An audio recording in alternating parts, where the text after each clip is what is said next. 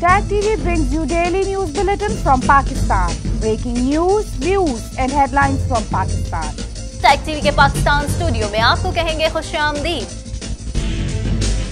एक चाइना से अभी तक कोरोना केस पाकिस्तान में नहीं आया किसी जर्नैल से सवाल पूछो तो कौमी सलामती के ऊपर हमला अब मैंने इनके पीछे जाना अपना ना लायकी को छुपाना अपना मुआशी दहशत गर्दी को छुपाना। कोई उम्मा के मुहावजों ने बहुत सी इन्वेस्टमेंट्स कर रखी है वहाँ। Do not live in a fool's paradise Bushra Khan Sara Farooqi. Shakeel Tag TV Pakistan.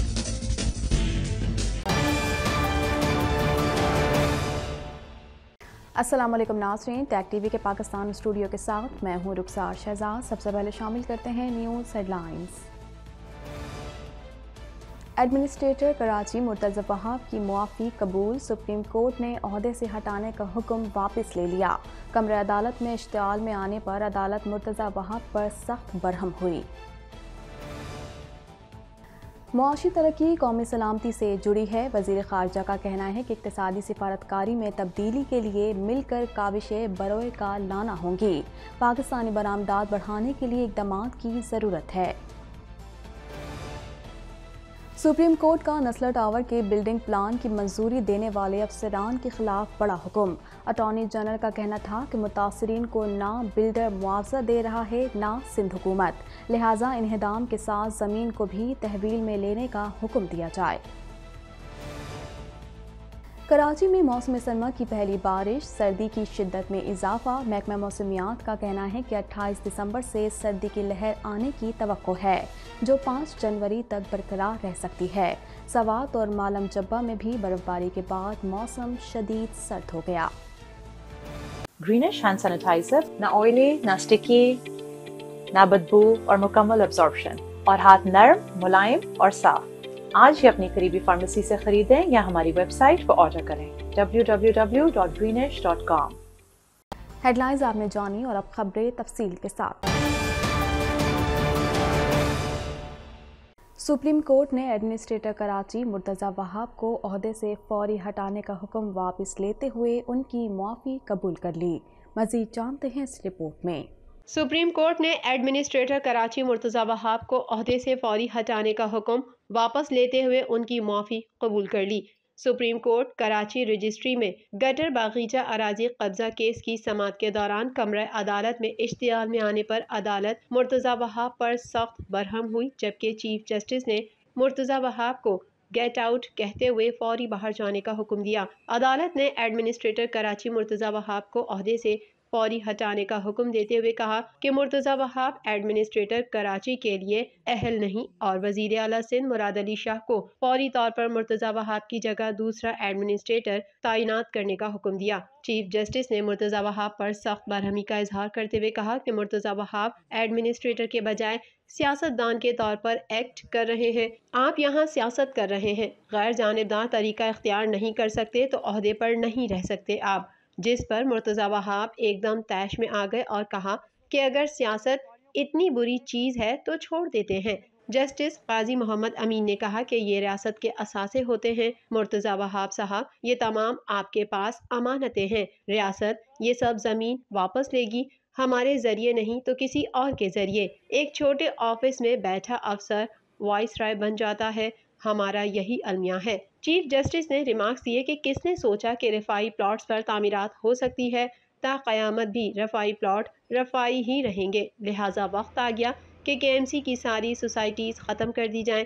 के एम सी वालों ने सोचा, सब बेचो मर्ज़ी से और रफाई प्लॉट्स बेचकर खूब माल बनाया गया। बाद अजा मुर्तज़ा वहाब ने अदालत से माफ़ी मांगते हुए कहा कि अगर मैं कभी गुस्से में होता हूँ तो मौजरत कर लेता हूँ। सुप्रीम कोर्ट ने एडमिनिस्ट्रेटर कराची मुर्तज़ा वहाब को अहदे से फौरी हटाने का हुक्म वापस लेते हुए उनकी माफ़ी कबूल कर ली।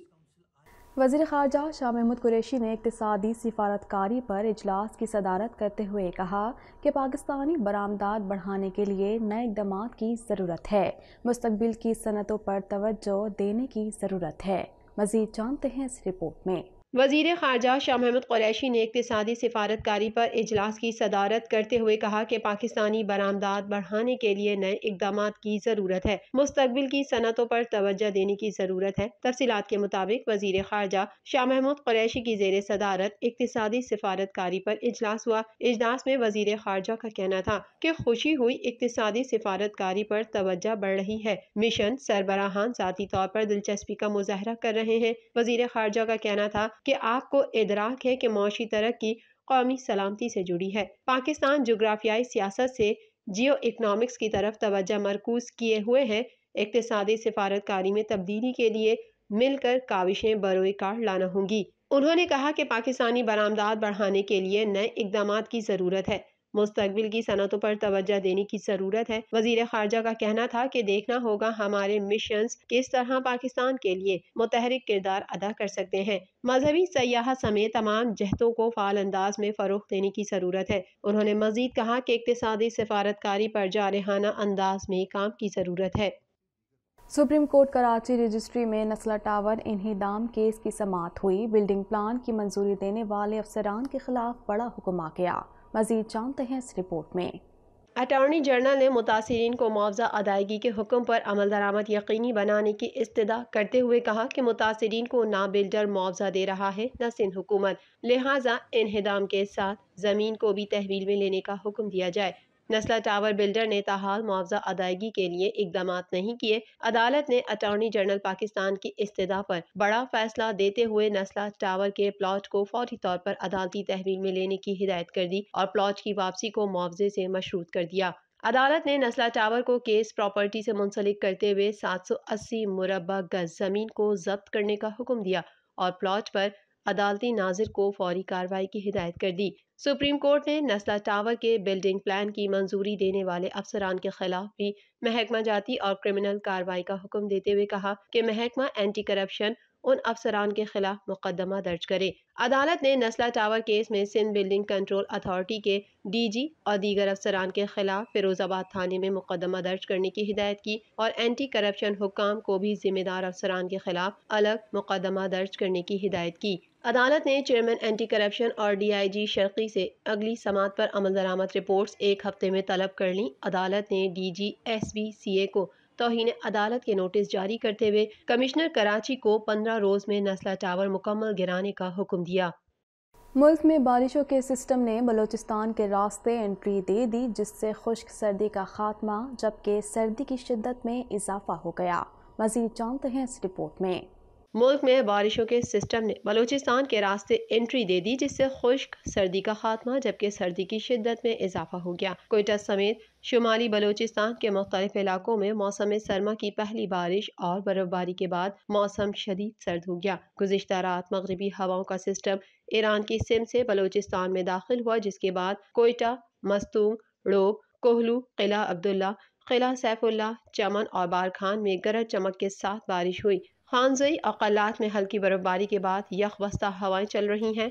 सवात और मालम जब्बा में भी बर्फबारी के बाद मौसम शदीद सर्द हो गया है, जबकि लाहौर समेत पंजाब के बेशतर अजला में आज मतला अबर आलूद और मौसम सर्द है। चिश्तियाँ, सराय मुगल गग्गू मंडी फ़कीर वाली बोरेवाला बहावल नगर सांगला हिल, पाकपतन में सुबह के वक्त बूंदाबांदी हुई। कराची में आज और कल हल्की बारिश का इम्कान है। दिन भर मतला अबर आलूद रहेगा और कराची में 28 दिसंबर से सर्दी की नई लहर आने की तो है। पाँच जनवरी तक दर्जा हरारत दस डिग्री सेंटीग्रेड से भी नीचे जा सकता है। महकमा मौसमियात ने आज और कल मुल्क के मुख्तलिफ़ इलाकों में बारिश और पहाड़ों पर बर्फबारी की पेश गोई की है। कश्मीर, गिलगित बल्तिस्तान, खैबर पख्तूनख्वा के बालाई इलाकों में बारिश का इम्कान ज़ाहिर किया गया है। मजीद खबरें भी बुलेटिन का हिस्सा होंगी मगर इस ब्रेक के बाद Tag TV brings you daily news bulletin from Pakistan. Breaking news, views and headlines from Pakistan. Tag TV के पाकिस्तान स्टूडियो में आपको कहेंगे खुश एक चाइना से अभी तक कोरोना केस पाकिस्तान में नहीं आया किसी जर्नैल से सवाल पूछो तो कौमी सलामती के ऊपर हमला। अब मैंने इनके पीछे जाना है। अपना ना लायकी को छुपाना अपना मुआशी दहशत गर्दी को छुपाना। कोई उम्मा के मुहावजों ने बहुत सी इन्वेस्टमेंट कर रखी है वहाँ। Do not live in fool's paradise Bushra Khan Sara Farooqi Zulfiqar Shakeel Tag TV Pakistan.